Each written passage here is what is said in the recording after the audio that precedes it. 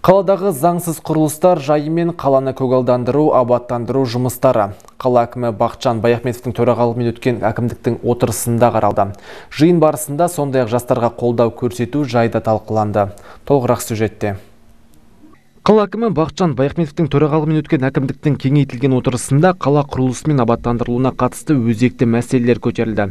Қаланың қазіргі жағдайы көңіл көншітпейді, сондықтан заңсыз салынып жатқан құрылыстардың алдын алу шаралары күшейтіліп, күннің жылынуы мен қаланы көгалдандыру мен абаттандыру басталуы қажет.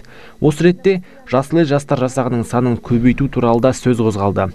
Бұл қаланың көгалдануына оң ықпалын тигізіп қана қоймай, жастарды жұмыспен қамтуға да әсер етпек. тап таза ұстау болады қаланы а қазіргі бар адамдар келеді сіздер оны қадағалай алмайсыздар даже осы жаңағы конкурсқа қатысқан мына тек спецификацияға байланысты қанша адам болу керек екенін былтыр не істей алмады даже соның елу пайызына жеткен жоқ ал мына жерде үкімет ақша төлейді одан кейін өздері жартысын төлейді оларға бұл не сонымен күзге дейін оны көп көп жағдайға жеткізуге болады балалардың істеген ісі көрінбейді ғой бірақ қазіргі жүрген адамдарға қарағанда төрт бес есе жаңағы олардың жұмысы ауқымды неге қарамағансыздар Шаһар басшысы құрылыс бөлімі басшысына қала өміріне байланысты маңызды мәселелерді назардан тыс қалдырмауды тапсырды.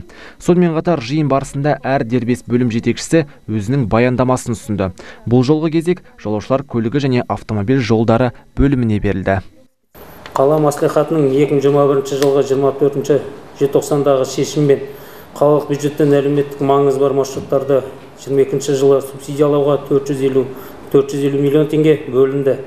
Жыл басынан 284 миллион теңге таксомоторлы парк. Жауапкершілігі шектеулі серіктестік сомасы 139 миллион 311 мың теңге сем автопарк жауапкершілігі серіктестік сомасы 20 миллион 688 мың теңге автотранс семей жауапкершілігі шектеулі серіктестік сомасы 124 миллион теңге төленді.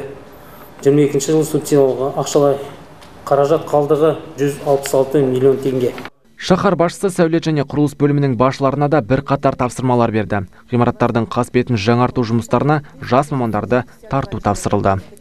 Рүстем Қайратұлы, Әділжан Бейсенғазинов, Семей телеарнасы.